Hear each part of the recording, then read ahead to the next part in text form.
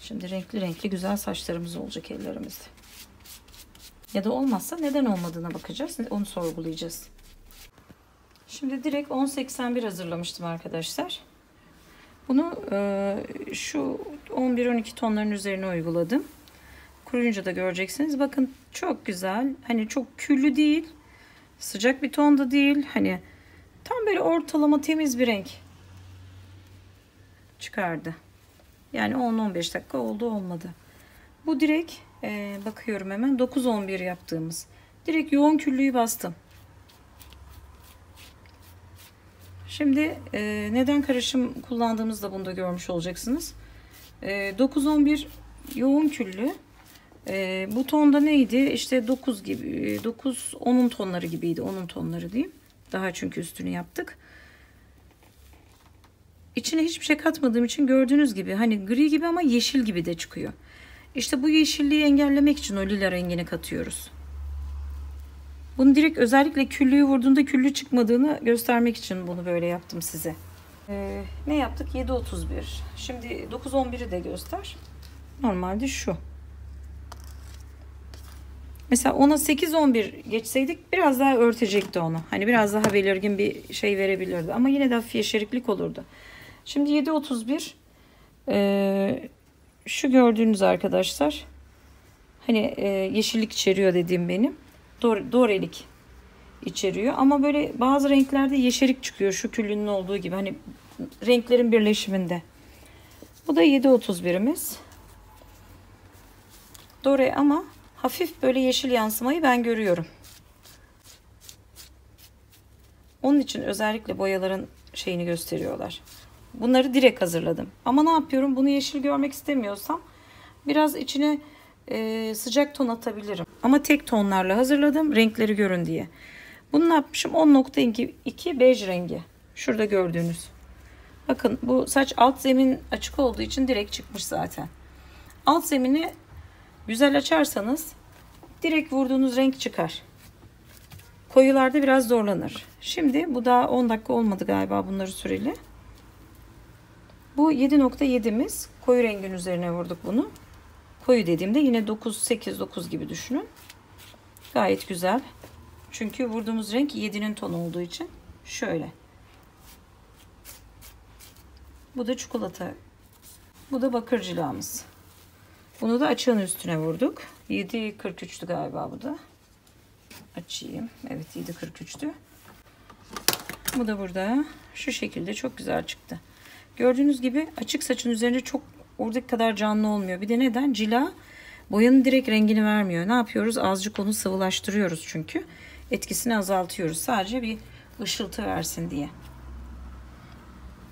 Yani bunun gibi bir sürü cila yapabilirsiniz. Bunda sınır yok. Kurutunca da göstereceğim size.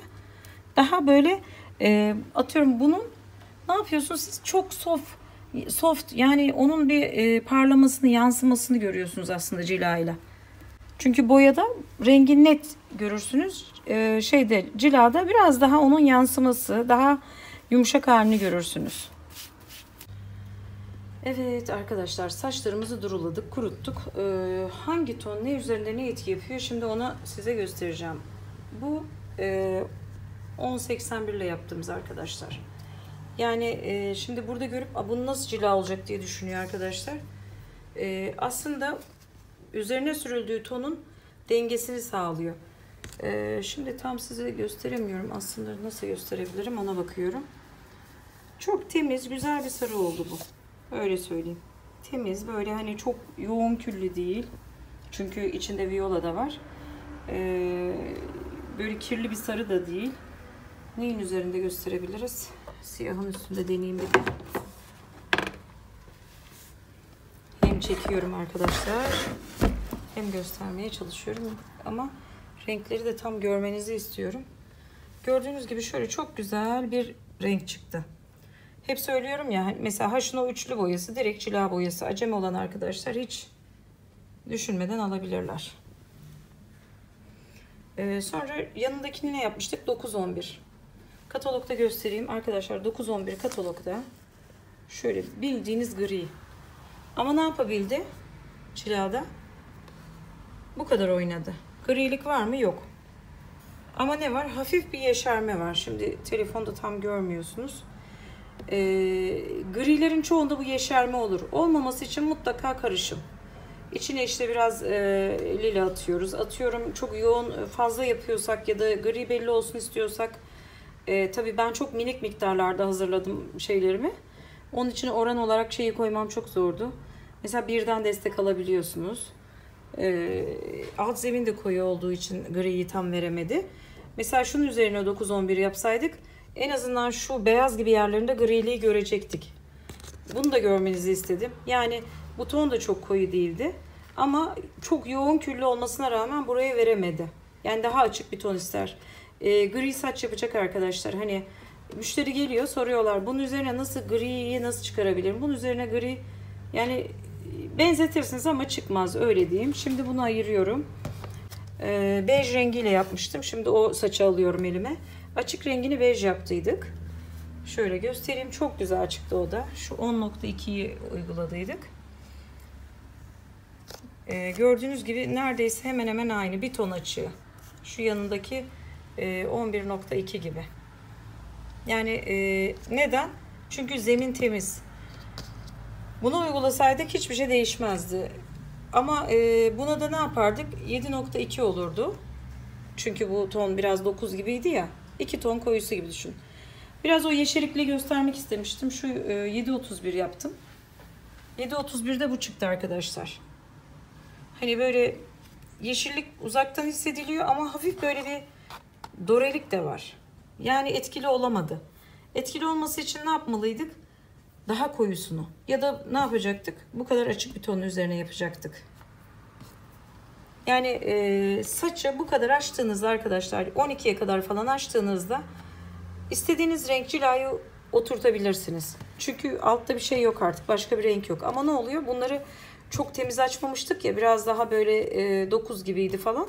O yüzden hala bir renk içerdiği için bunları rengi vermekte zorlandık cilayla. He, boyayla alır mıydı? Alırdı. Ama cilayla böyle. Cila çünkü e, yapmak istediğiniz rengin e, mesela 10.2 mi yapıyorsunuz?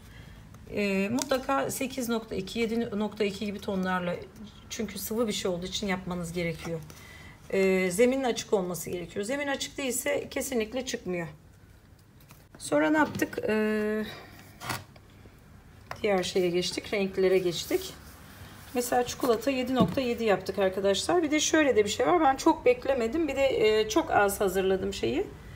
Gördüğünüz gibi hep bir iki ton altı çıkıyor cilada. Çünkü boya gibi yoğun yapmıyoruz ya. Siz ona göre mesela ben 7.7 ile yaptım. Bu renk çıktı. Çok güzel. Şimdi kamerada çok iyi görmüyorsunuz. Ee, biz çok beğendik. Mesela ben sıcak tonları çok sevmem ama çikolatayı çok beğendim.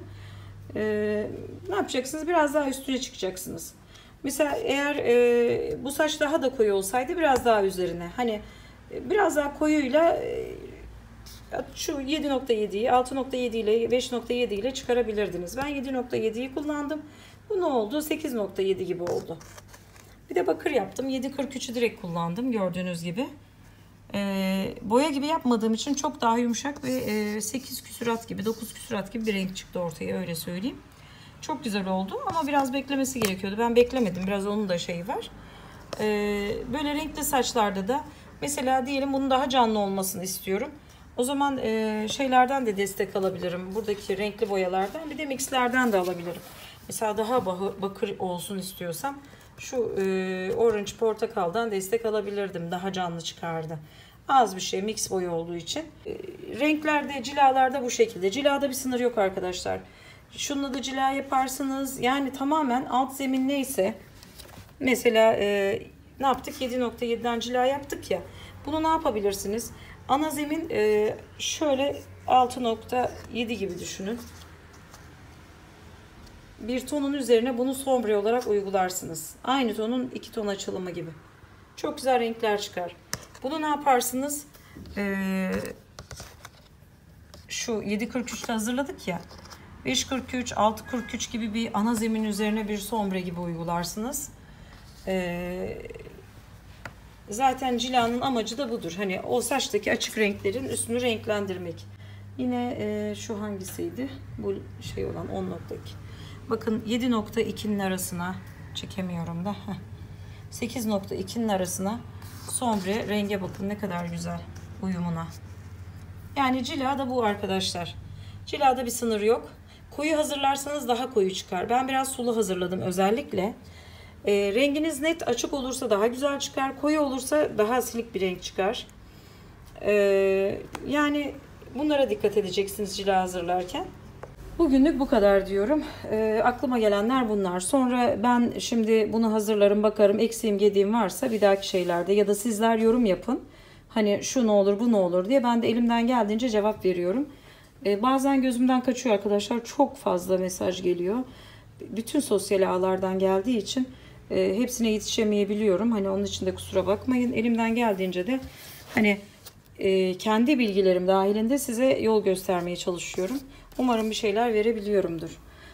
Renklerimiz bunlar şimdilik arkadaşlar. Sizler de böyle parça saçlarda çalışın. Not alın, bir yere yapıştırın unutuyorsanız eğer. Müşterileriniz geldiğinde e, böyle tereddütte kalmayın. Şöyle göstereyim. Bakın hepsi ayrı güzel bence. Sevdiğim için hepsi güzel geliyor. Cila da böyle işte arkadaşlar.